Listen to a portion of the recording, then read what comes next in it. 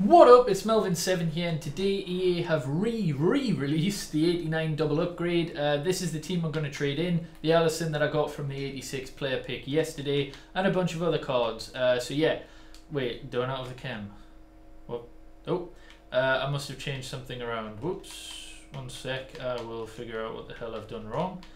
Yeah, I had the chemistry. What did. What the...